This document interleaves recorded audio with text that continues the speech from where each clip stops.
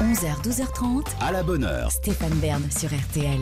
Et nous sommes toujours avec Pascal Elbé. On parle d'une chance de trop avec Alexandra Lamy. Alors là, c'est vraiment. euh, Non, c'est un bon duo. Hein, Ah, moi j'ai adoré bien. jouer avec Alexandra. C'est Lamy. vrai Ah oui, c'est une partenaire, euh, elle est tout terrain et surtout elle, est- elle a une énergie. Et puis, et puis je la trouve, euh, le premier épisode que j'ai vu, je la trouve remarquable. Et puis il faut avoir une actrice comme ça qui puisse s'adapter. C'est c'est un- c'est quand même un, un long parcours de Mm. Oui. tourner quatre mois. euh, et elle a été, euh, enfin, c'était capitaine du bateau. Bravo. Et je salue au passage aussi le.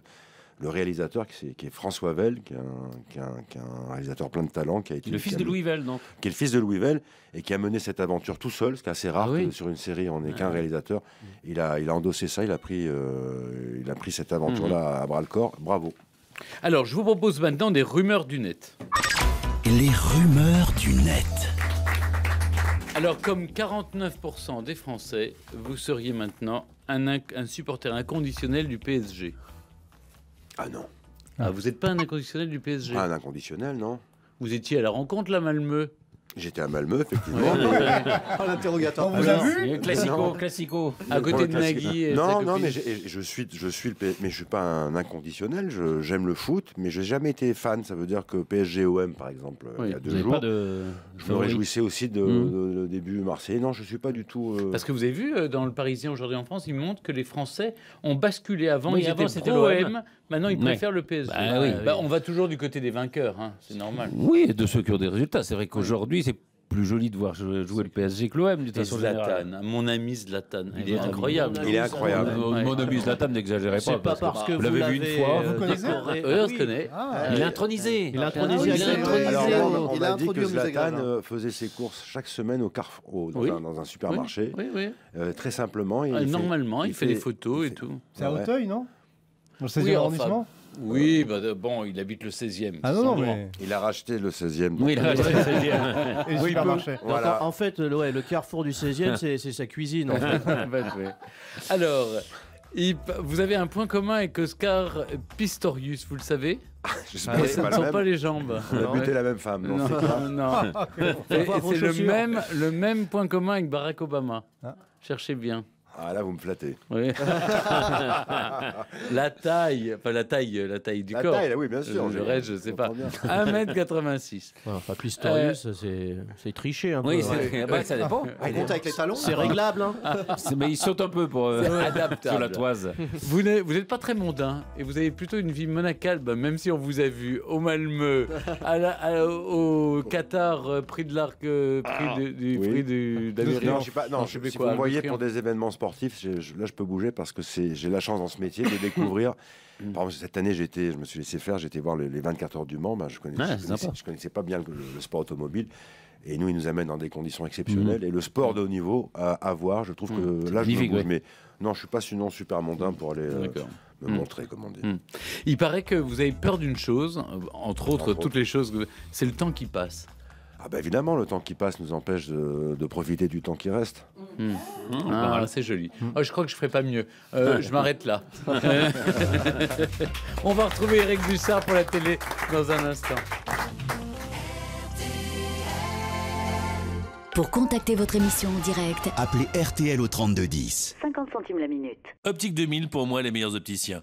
Géraldine Besançon, à Belleville, dans le Rhône, nous dit pourquoi. Je suis quelqu'un de très fantaisiste. Je recherche des montures hors du commun que tout le monde ne porte pas, des couleurs, un peu d'originalité. Ma dernière paire, c'est vraiment quelque chose de très fantaisie. Alors celle-ci, je pense que ça doit être un modèle unique. Je ne l'ai jamais revue sur quelqu'un et c'est vrai que quand mon opticienne a vu cette monture, elle a tout de suite pensé à moi et elle s'est pas trompée. C'est vraiment la monture qui m'a plu tout de suite. Brigitte Boyer, l'opticienne Optique 2000 de Madame Besançon, à Belleville, dans le Rhône. Chez Optique 2000, nous questionnons nos clients sur leur goût, sur leur mode de vie et nous leur conseillons les verres et les montures les mieux adaptés à leurs attentes. Et comme Optique 2000 est partenaire de nombreuses mutuelles, nous nous occupons de tous les papiers pour nos clients. Alors, Madame Besançon, contente d'Optique 2000 Tout à fait. Et en plus, ils traitent tous les papiers pour moi. Optique 2000, c'est le leader français de l'optique, avec 1200 magasins près de chez vous. Dispositifs médicaux, demandez conseil à votre opticien. Salut, c'est moi, la tortue du jardin. Mes voisins ont une véranda concept alu. Ils vivent à la fois à l'intérieur et profitent de l'extérieur. Ça, c'est d'innovation. Du plafond jusqu'au sol. Et pour un euro de plus, le carrelage porcelanosa est offert. Véranda concept alu, l'innovation, moi aussi, j'en veux. Détails et conditions sur conceptalu.com. Qu'est-ce qui fait se lever les clients métro le matin? Jean-Marc, restaurateur dans le Sud, nous fait partager sa passion.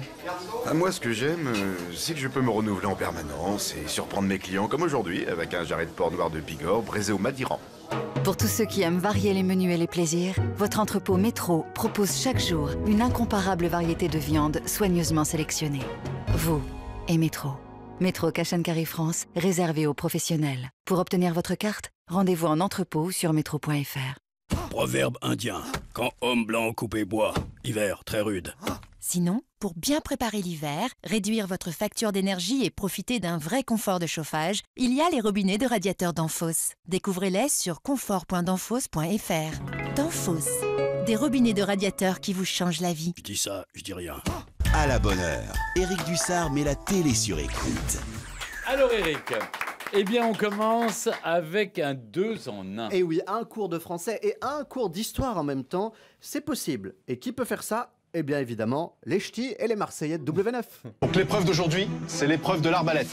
Ah, c'est les trucs des... dans les châteaux forts, là? L'arbalète, euh, c'est les... les arcs plats bah, des hommes préhistoriens pour moi. Enfin, ou des hommes du Moyen-Âge. C'est une arbalète, quoi. Bah oui, les hommes préhistoriens, Préhistoriens, du oui. Moyen-Âge. Alors ouais, justement, c'est ce qu'on Connaissez appelle pas une l'histoire flèche. Hein elle, est- elle est très bien. En même temps, avec cette candidate, euh, j'en attendais pas moins. J'en attendais pas plus non plus, puisque c'était déjà elle qui nous avait fait profiter euh, d'une autre euh, formidable analyse au moment où elle avait appris qu'elle allait partir en excursion sur l'île de Colanta. Sur Colanta, il va me manquer tout, en fait. Mon lit, mes interrupteurs, mon frigo, pff, ma piscine. Il y a des choses plus graves, Jessica, dans la vie. hein. Allez. Tu râles pour rien. Ah, je suis absolument pas Robinson Crusoe, ni un homme des tavernes, ni un homme des tavernes. L'homme des tavernes, c'est un gars qui ne vit que dans les bistrots Non, et c'est il ne se Stéphane. nourrit que de bière. L'homme des tavernes. C'est ça l'homme C'est des Stéphane tavernes. en Grèce. Ah bah oui, quelque part, vous êtes un peu l'homme des tavernes, des tavernes grecques. Mais comment ils peuvent dire des Ouais. telles Oh, bah, bêtises qu'on de est tavernes capable de pareilles dire que l'arbalète est pour les hommes préhistoriens. L'homme du préhistorien, c'est bien. Je L'homme pense que les préhistorien, tavernes, ouais, écoutez, ça, c'est c'est bien. c'est pas bête. C'est pas bête, l'homme Il préhistorien. n'y avait pas d'histoire encore. C'est pas bête, et pourtant si. Alors, euh, justement, j'en connais un qui a dû aller un peu trop dans les tavernes. Euh, c'est ce braqueur, pas comme les autres, dont nous a parlé euh, l'émission Enquête exclusive sur M6. Pas comme les autres, parce que lui, il ne braque pas des bijouteries ou des banques. Le gars vise beaucoup plus haut que ça. hein. Son butin, c'est carrément un cheeseburger. La scène s'est déroulée un soir dans une chaîne de restauration rapide. Il a voulu avoir des hamburgers gratuits, gratuits au McDonald's et il a exhibé un fusil à pompe pour ce faire. Il a une version très inattendue de cette histoire. Je suis arrivé au McDo, j'ai pris un menu. Je vais à l'autre caisse où je dois payer. Il part, il enlève son micro, il part en courant, son casque. Moi, je dis, qu'est-ce qu'il a, lui? Je reste comme ça dans mon voiture, j'attends.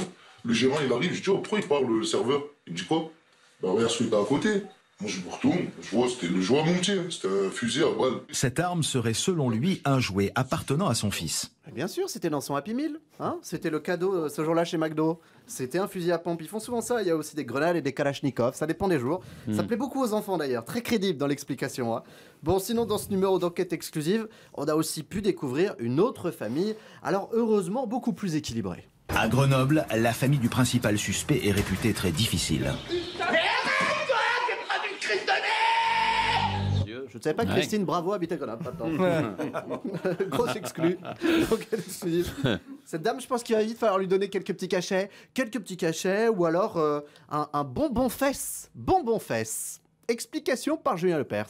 Martinique en Martinique, quelle préparation pharmaceutique de forme conique ou ovoïde est également appelée bonbon fesse? Un bonbon fesse, oui, bonbon fesse. Suppositoire. Le Suppositoire. Mais bien sûr. C'est joli ça, hein le bonbon fesse. C'est vrai que c'est mignon le bonbon fesse. Une petite fraise Haribo dans le derrière. Rien de tel pour te requinquer. Ça ne marche qu'en Martinique, hein, par contre, hein, le bonbon fesse. hein. L'expression ne, ne fonctionnera pas ailleurs. Prudence. Il y a des phrases qu'il vaut mieux éviter, Eric. Oui, alors il y a des phrases à éviter, par exemple, euh, quand vous faites des interviews sur les inondations dans le sud de la France. Euh, Bruce Toussaint, hier matin sur iTélé, celle-ci, par exemple, il aurait pu s'en passer.